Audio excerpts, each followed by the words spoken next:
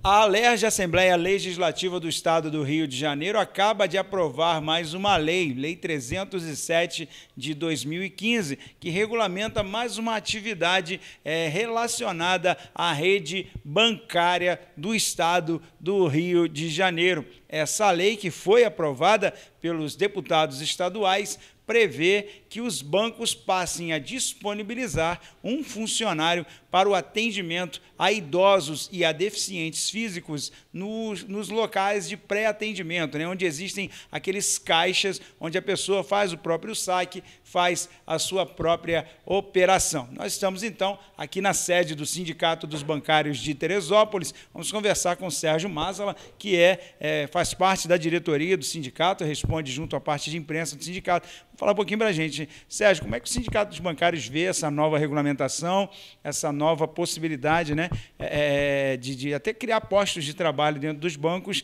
criando esse, esse, esse atendimento específico para os idosos ali nos caixas, no, no caixa de pré-atendimento? É, primeiro, é esclarecer que o atendimento prioritário ele visa corrigir um desnível que existe entre o caminho que essas pessoas, os idosos, deficientes físicos, percorrem né, para esses locais de prestação de serviço, como são os bancos. É, então, são enormes as barreiras. Né? É, então, é, são enormes os desafios que eles é, é, encontram até, o alto, até chegar no alto atendimento da agência, num posto de atendimento. É, esclarecer também que o atendimento prioritário ele já é respaldado pela Constituição Federal de 88, que prevê o, o atendimento exclusivo é, como um desdobramento das garantias dos direitos sociais. E a própria é, FEBRABAN, a Federação Brasileira dos Bancos, também já tem suas normas que obrigam os bancos a priorizar o atendimento para, idosos, para deficientes. Então, é, é, a lei vem para é, é, subsidiar o que já existe dentro da Constituição Federal e dentro da norma da FEBRABAN. Ela vem com, com previsão, no caso do descumprimento, para inibir os bancos, multa no caso do descumprimento. Então, é, mas é importante que também que os clientes e usuários saibam dos direitos que eles têm. A gente disponibilizou é, é, mensalmente, a gente passa nas agências para disponibilizar esse panfleto, que são essa, esses direitos do cidadão, do não correntista, do idoso, do deficiente físico, que os bancos são obrigados no caso exclusivo desse, dessa lei, do atendimento prioritário. Então, os bancos já cumprem isso.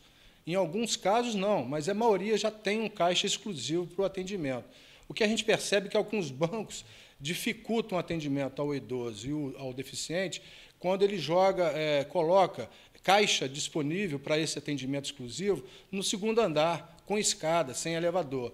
Então, é, é importante que o cliente, o usuário, saiba dos seus direitos. Esse panfleto ele orienta o cliente, o usuário, não só nesse caso específico, mas de um modo geral, a, a, a correr atrás dos seus direitos. A gente é, é, orienta ele ligar para o PROCON, para a ouvidoria do banco, para o próprio Banco Central.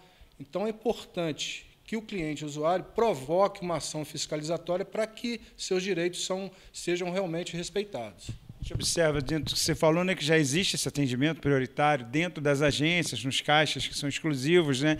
Algumas agências também disponibilizam funcionários nesse pré-atendimento feito nos caixas de autoatendimento, que é, o, que é objeto dessa lei. Mas vocês entendem isso como uma abertura de postos de trabalho? Quem sabe também, a gente sabe que é uma reivindicação do sindicato que sejam criados mais postos para tirar uma sobrecarga que já existe em cima de muitos colegas de vocês. É, vocês observam de forma positiva também essa lei? A lei ela é, vem de encontro a, uma luta do movimento sindical bancário que é, obriga o banco a contratar um caixa exclusivo para esse atendimento. Caso ele não cumpra, ele é multado, como eu já disse. É, no caso do pré-atendimento, o que o, o, o, não correntista, o correntista, o usuário de banco, tem que prestar atenção é que naquele pré-atendimento ali, ele tem o direito de entrar na agência. Ele não pode ser, é, se ele for orientado ali para uma casa lotérica, para um correspondente bancário, ele pode se recusar. Ele tem direito a entrar dentro da agência e ser atendido dentro da agência, mesmo não sendo correntista.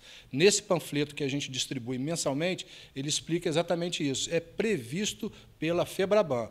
No caso, é, quando existe a lei, é, é, claro, é óbvio que o banco é ob obrigado a contratar. Infelizmente, não é o que ocorre. Né? O setor bancário está vindo na contramão é, é, dessa situação. Ele, é, só nos dois primeiros meses de 2016, ele já extinguiu 783 postos de trabalho no, no país todo. Então, é, para a gente ficar atento, que se, se, além da luta do movimento sindical bancário, o, o, cidadão tem que reclamar realmente que é direito dele ser atendido dentro da agência. É, e ele exigindo isso, o banco vai ser obrigado a contratar mais funcionários para ele ter um atendimento digno, no tempo razoável, com segurança.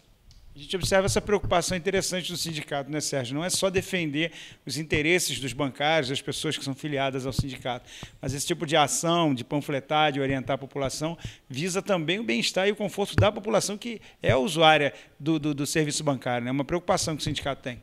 É uma preocupação, a gente se sente obrigado a esclarecer ao cliente que são ludibriados, né? na verdade, eles são ludibriados, que ele vai chegar na porta da agência ali, ah, não, você não é correntista, você não pode fazer depósito de até tal valor aqui na agência. Então, é, são orientações que a gente passa para que o cliente tenha, tenha é, ciência dos seus direitos enquanto correntista, enquanto não correntista, enquanto usuário de, e cliente de banco.